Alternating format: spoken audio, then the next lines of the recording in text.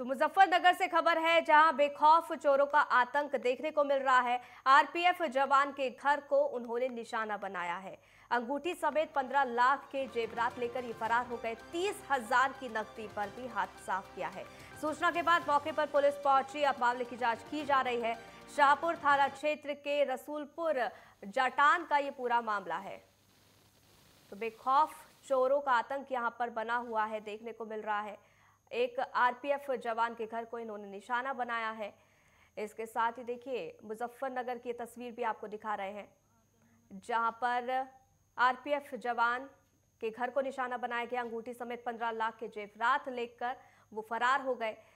तीस हज़ार की नकदी भी इन्होंने चोरी की है। फ़िलहाल पुलिस इस पूरे मामले की जाँच कर रही है। इसके साथ ही आसपास के सीसीटीवी फुटेज को भी खगाला जा रहा है। तो मुजफ्फरनगर का ही पूरा मामला है। यहाँ पर चोरों का किस तरीके से हौसले बुलंद यहाँ पर नज़र आ रहे हैं। आपको बता दें कि आरपीएफ जवान के घर को चोरों ने निशाना बनाया है। अंगूठी समेत पंद्रह लाख के जेवरात ये लूट कर फरार हो गए। तीस हज़ार की नकदी पर भी हाथ साफ़ किया है, जो जानकारी मिल रही है। फ़िलहाल जो पुलिस है, इस पूरे मामले की जाँच कर रही है। आसपास के सीसीटीवी फुटेज को भी खगाला जा रहा है और जल्द गिरफ्तारी होगी। ये भी आश्वासन पुलिस की तरफ़ से दिया गया है।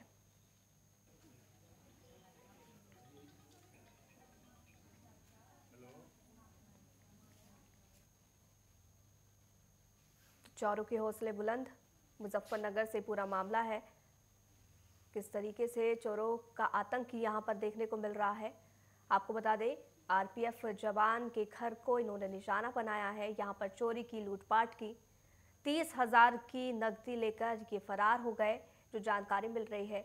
इसके साथ ही कई जेवरात, जिनकी लूटपाट भी इन्होंने की है। हालाँकि पुलिस अब इस पूरे मामले की जाँच कर रही है।